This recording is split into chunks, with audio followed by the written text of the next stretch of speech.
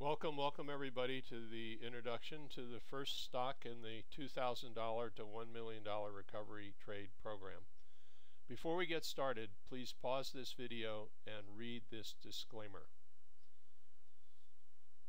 Let's get started on what I hope to be a life-changing series of webinars, how to start with only $2,000 and end up with a million dollars in just four stock trades. This video is about your first trade, a $2 stock that I think is headed for $24 plus.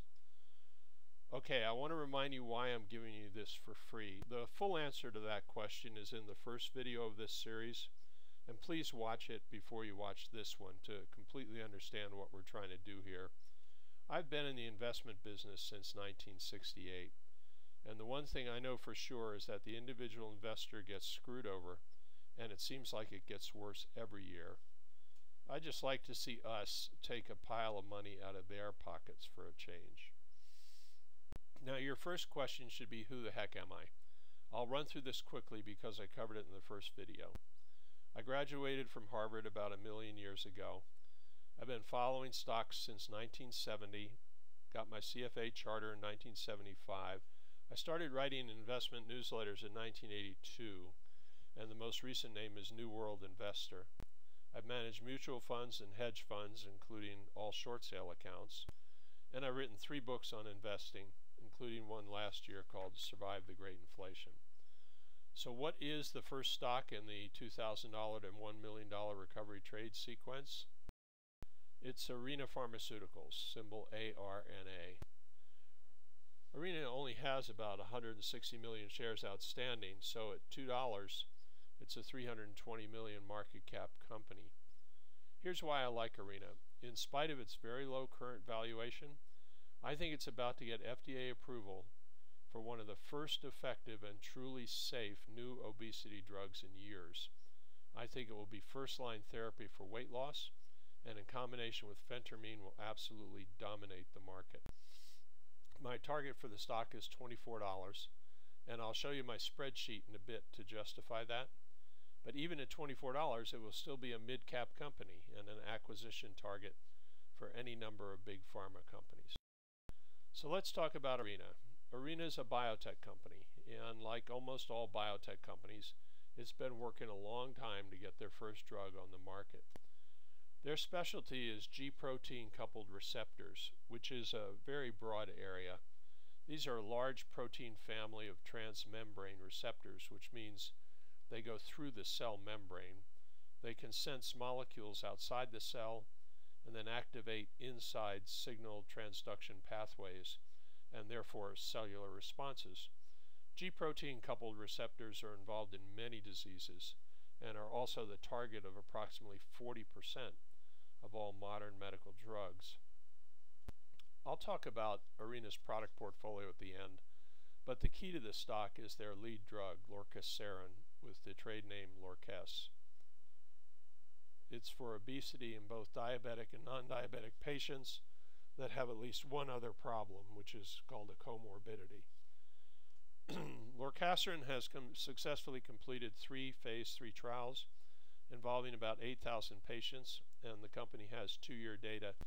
They originally submitted their new drug application over two years ago, and due to what most of us think was a poorly analyzed response from the FDA, the first advisory committee voted against approval, and the FDA issued a complete response letter in October of 2010. It took over a year for the company to respond to all the issues, but they did and filed their amended new drug application at the end of 2011.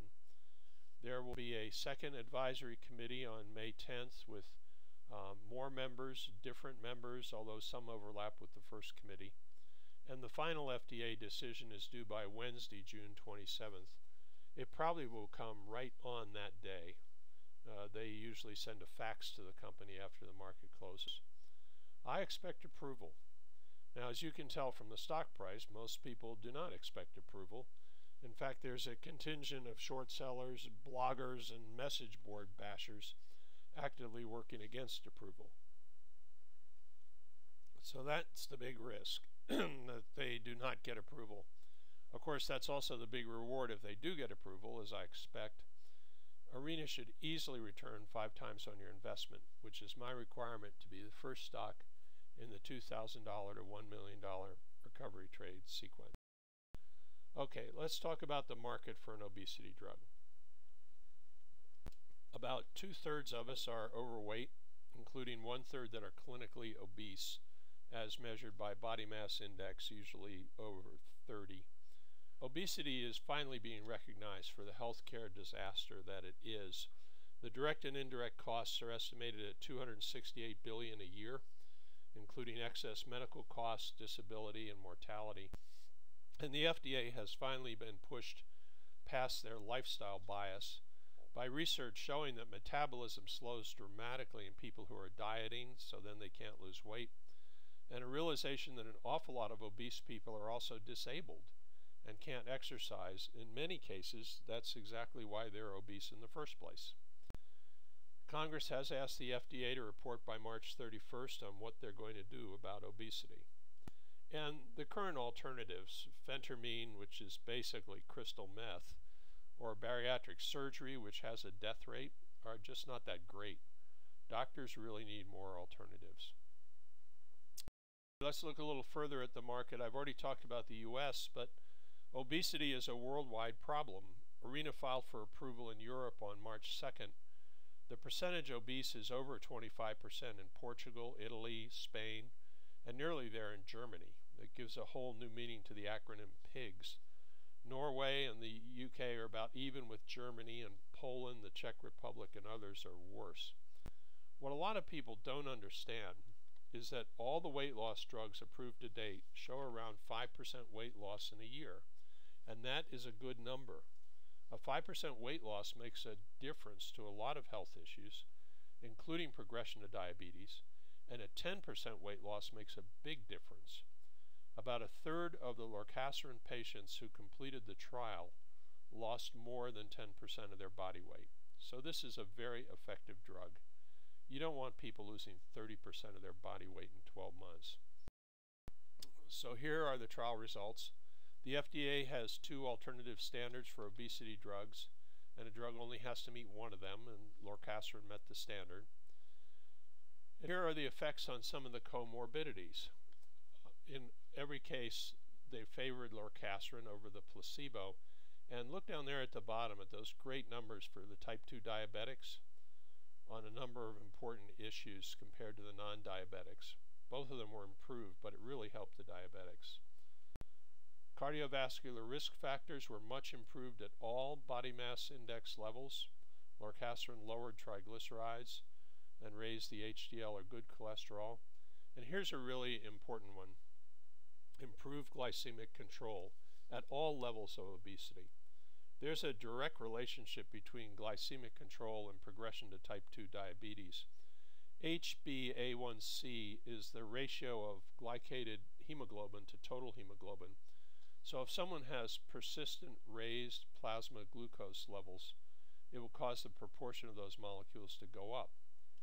At the end of the first year, both HbA1c and fasting glucose showed significant improvement. Now, in a non diabetic, HbA1c levels range from 4% to 6%. Patients with diabetes who manage to keep their HbA1c level below 7% are considered to have good glycemic control. Look at the dramatic improvement with lorcaserin. About 25% of the placebo patients had HbA1c below 7% compared to nearly 50% of the lorcaserin patients. That's huge. And on the right, you can see a dramatic change in the use of diabetes medications. Also, changes in HbA1c, blood pressure, and progression to type 2 diabetes are validated surrogate endpoints for progression to cardiovascular disease, and lorcaserin had a beneficial effect on all three. Here are the adverse events. the main one compared to placebo was a headache. Reportedly, headaches lessened or went away after a while on the drug. Incidentally, QD is once a day and BID is twice a day dosing, which is uh, what the company has applied for approval. Now, the FDA made Arena do a cardiac impact study on every patient as part of their phase 3 trials. The fen-phen diet drug combination of fenfluramine and phentermine caused heart valve damage due to the fenfluramine component. And the FDA wanted to be sure that lorcaserin hits the appetite receptor without hitting the heart valve receptor.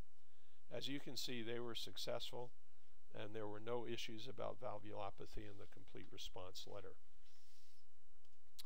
Now, the FDA made Arena do a cardiac impact study on every patient as part of their phase 3 trials. The fen-phen diet drug combination of fenfluramine and phentermine caused heart valve damage due to the fenfluramine component.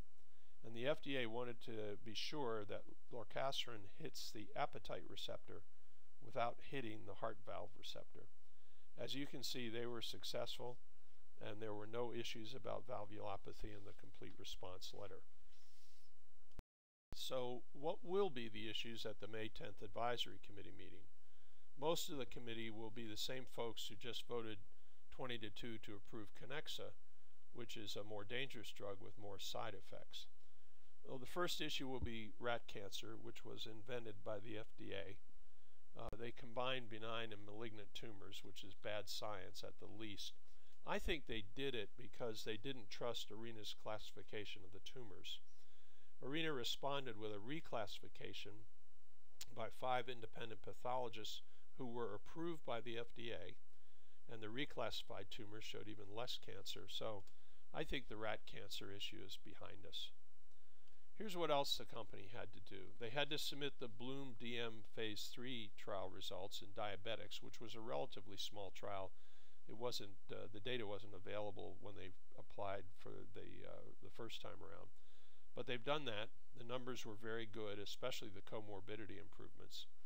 They had to re-adjudicate the rat cancer data that I referred to on the last slide. And they had to investigate the tumor mechanism. Even though they showed there was no cancer signal, the FDA made them investigate the tumor mechanism.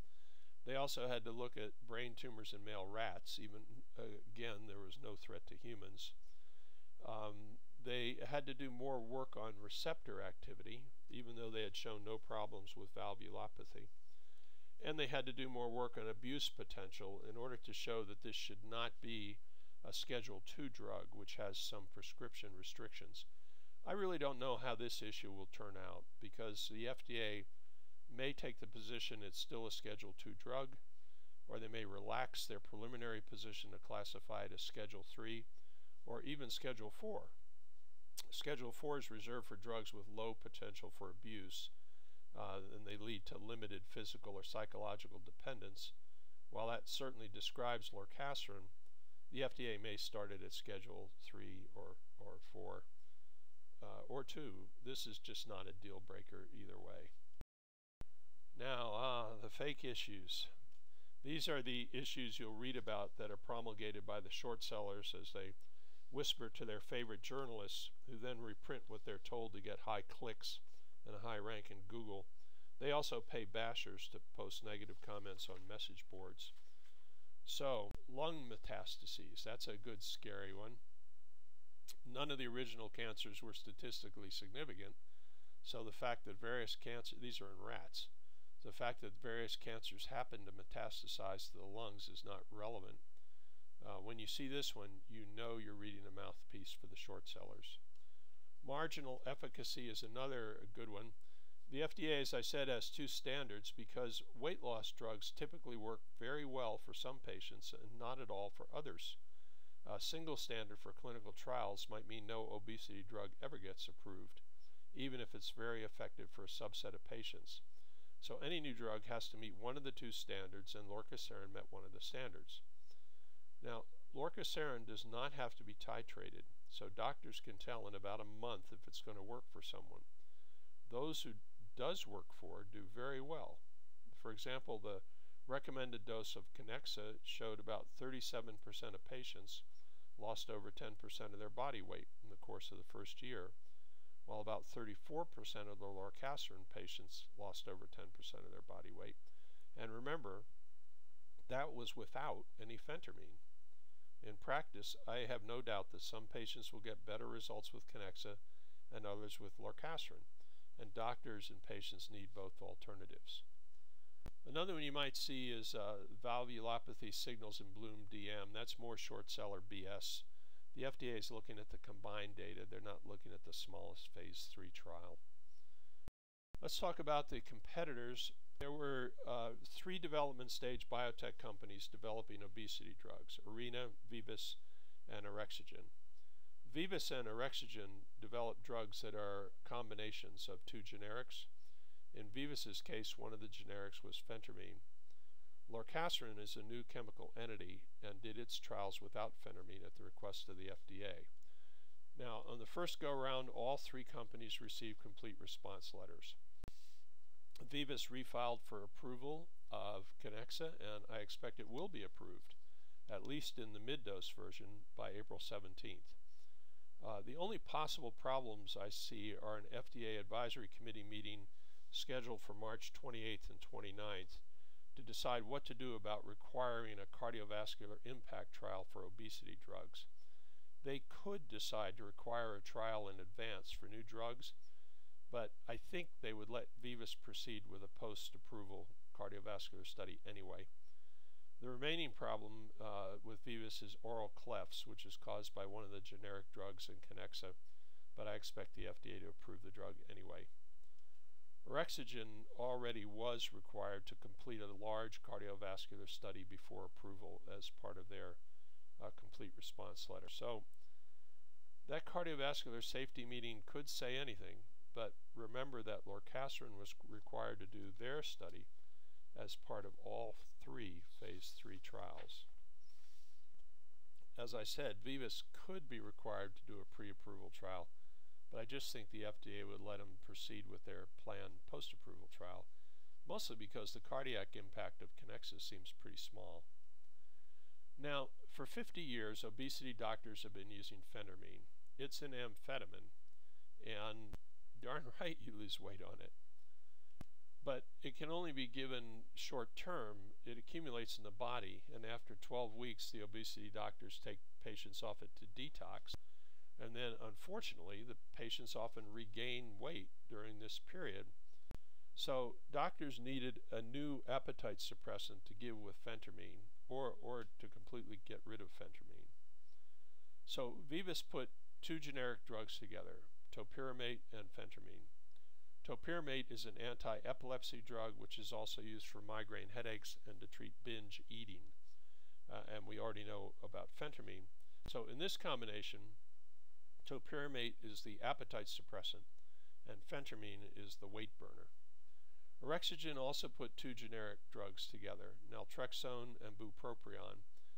Naltrexone blocks opioid receptors. It's used to treat alcohol dependence. Bupropion is an antidepressant and a psychostimulant. Uh, it's a chemical derivative of substituted amphetamine. So here, naltrexone is the appetite suppressant, and bupropion is the weight burner. Arena developed Lorqess, which is lorcaserin plus nothing. And so they did their clinical trials with an appetite suppressant and no weight burner. They achieved their clinical results and met the FDA guidance without anything to stimulate the patient's metabolism to burn weight. So, why would Arena spend all this money on clinical trials without including phentermine?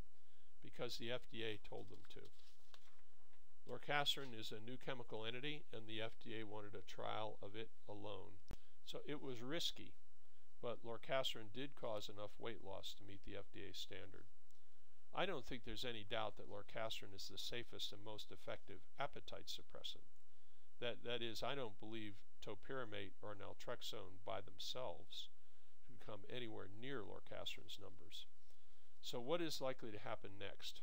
Well, since the FDA asked for a trial of lorcaserin only, I don't think they'll penalize it by comparing it to a generic combination that includes phentermine.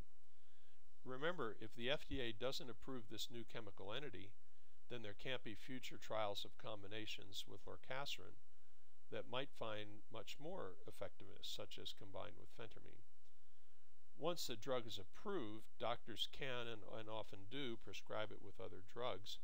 And since they're already so familiar with phentermine, I think docs will try that combination right away uh, with excellent results.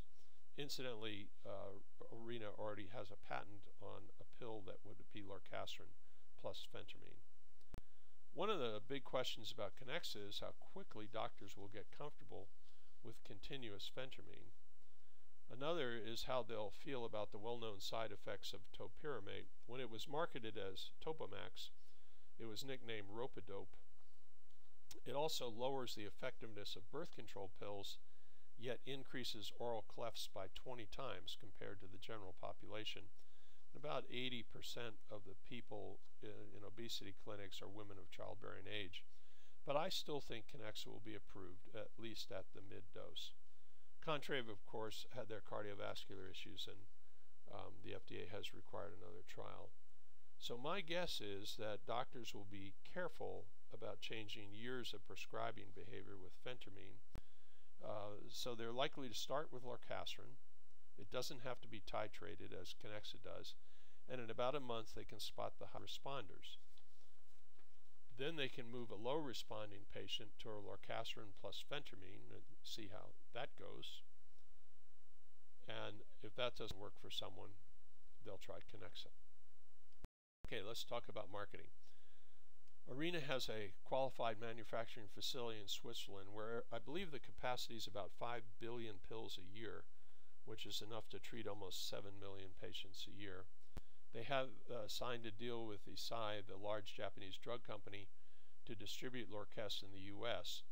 I don't believe Arena will incur U.S. taxes on the sale of pills to Eisai if they leave the money overseas, and Arena has retained all the non-U.S. rights.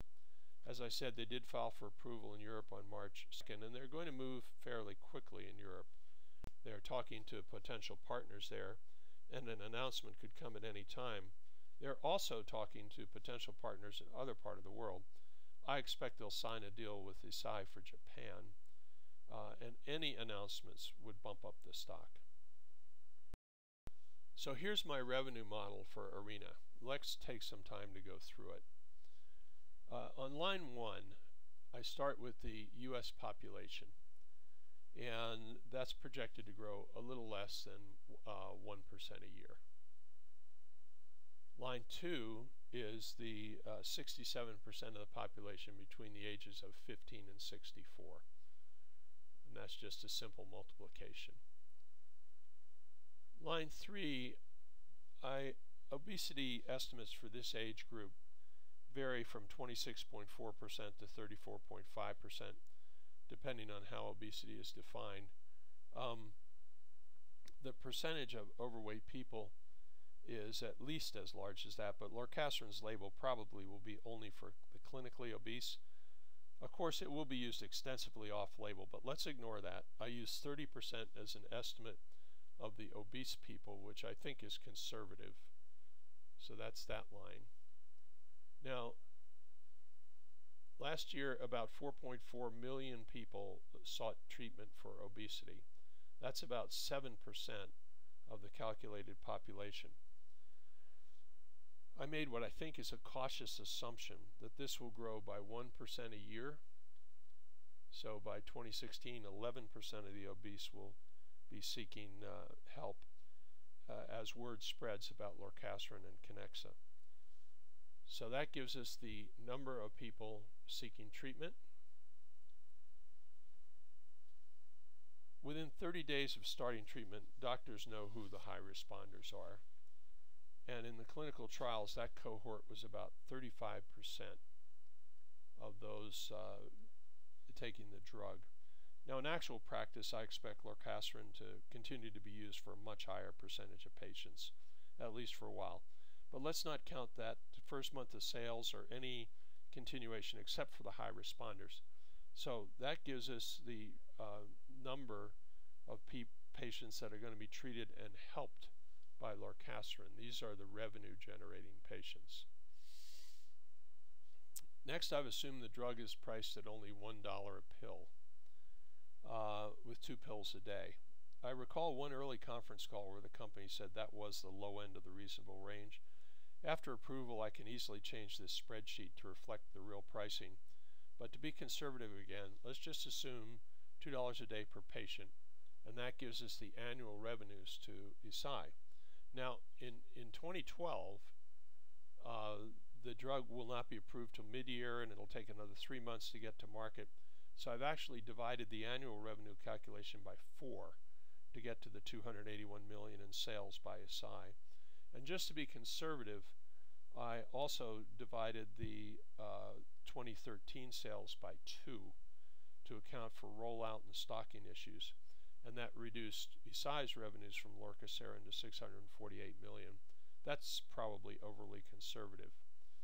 Now, under the terms of the deal with Eisai, Arena will manufacture the product in Switzerland and sell it to Eisai for a purchase price which starts at 31.5% of Eisai's annual net product sales. And then the purchase price will increase on a tiered basis to as high as 36.5% on the portion of annual net product sales exceeding 750 million. I assume there's no increase until the 750 million level is hit, which is also conservative. So that gives us the revenues to Arena from Eisai, assuming Lorcaserin does not hit full stride until 2014. Uh, and as I explained above, full stride is itself a conservative number. I then assume the same path for revenue growth in Europe with a one year lag. And that implies European introduction in the fourth quarter of 2013. That's also pretty conservative. Uh, on line 10, in addition to their share of sales of lorcaserin, Arena gets up to an additional 60 million in milestone payments upon regulatory approval and delivery of the product supply for launch. So I show that in 2012. And then there's another 70 million in regulatory and development milestone payments that I split equally between 2013 and 2014. Finally, on line 11, there's 1.16 billion in one-time purchase price adjustments based on annual sales of lorcaserin. I don't have any idea what that schedule of payments is. I assumed it adds 10 percentage points to Arena's share of the revenues starting in 2014, although it would take many years to add up to 1.16 billion. So the actual schedule is probably faster, but I don't know what it is. Now, the bottom line here on line 12, Arena does roughly 150 million in revenues this year, a little over 325 million next year, almost 850 million in 2014 as Europe kicks in, and then over 1.3 billion two years later. So if those numbers seem outrageous to you, um, fine, do your own spreadsheet. You can make even more conservative assumptions if you want, but I could make an equally strong case for higher pricing or a higher percentage of the obese seeking treatment or faster purchase price adjustments. So what's it worth? Well, any drug that has blockbuster status is worth six times revenues, usually more. So using six times revenues, Arena has a value of nearly $900 million this year, followed by 2 billion in 2013, $5 billion in 2014, and so forth. Uh, on line 14, the company has uh, 160 million shares outstanding, so the calculated price per share here is $6 this year, then 12, 32, 45, and 52. Now, why do I say that the stock's going to $24 plus? It's because when Wall Street calculates uh, uh, prices on a stock, they run this kind of model. They discount expected future prices, and once lorcaserin is approved, models like this will be everywhere. Some will use more aggressive assumptions, uh, some will use less aggressive assumptions. Some of our hedge fund short friends probably will show their blogger buddies a model in which lorcaserin only sells three pills, and they'll print that as news. Although Wall Street usually discounts future earnings at 10% a year, maybe 15%, I've used a more stringent 20% discount rate. So what you see here is that the $52 price in 2016 is worth $25 today. Okay. Cash. At December 31st, the company had 57.6 million in cash. they picked up 27.9 million more in a January private financing, and they just closed 24.7 million in an early March private placement. They're using around 23 million a quarter, so they can get to that June 27th date easily, but realistically, they got to get approval or the stock could go to zero. That's why you don't want to go overboard with this stock. Arena does have another a pipeline of other products, but if lorcaserin's turned down or delayed, the debt holders are going to get this company on the pipeline, not us. Arena has about 116 million in in debt. Short interest uh, in Arena has increased from 20.4 million at the end of the year to 25.3 million at the end of February, which is 21.4% of the float or 2.6 days of the recent average volume. There could be a short squeeze at any time, but I'll tell you, those folks will fight tooth and nail. So Arena is a uh, core holding in New World Investor and a trading buy under $5 for the European Rest of World Partnership announcements uh, with a $24 target after the FDA approves Lorcaserin in 2012. Please recognize that if they don't approve it, you're likely to suffer a total loss of principal. And please don't invest more than $2,000 if you really are following the $2,000 to $1 million recovery trade sequence. So, if you have any questions, you can sign up for free updates and notifications of new videos at newworldinvestor.com slash ARNA. As I said in the first video, my job in this partnership is to hunt far and wide for possible ideas, research them with extensive due diligence, present them to you, and follow them from buy recommendation to the sell and hopefully cash in recommendation. is not to follow me blindly, but think about if what I'm saying makes sense, take an appropriate position. I don't know enough about you to recommend a position, and the SEC won't let me make personalized recommendations anyway. For most people, the $2,000 initial buy should be fine. I can answer general questions about the company, and you can email me at newworldinvestor at gmail.com. That Arena Pharmaceuticals had nothing to do with this research report in any way. They didn't even know I was writing it or creating it. It is my work product. Nice disclaimer again in case you missed it. Our job together is to stick to our guns unless the fundamentals change and take as much money as we can away from the bad guys. If you want to bail on this idea right here and forget it, I will not be insulted. But if it's appropriate for you, I hope you'll join me on the $2,000 or $1 million journey. Thanks for watching. Thanks for your time and attention. And let's go make some money.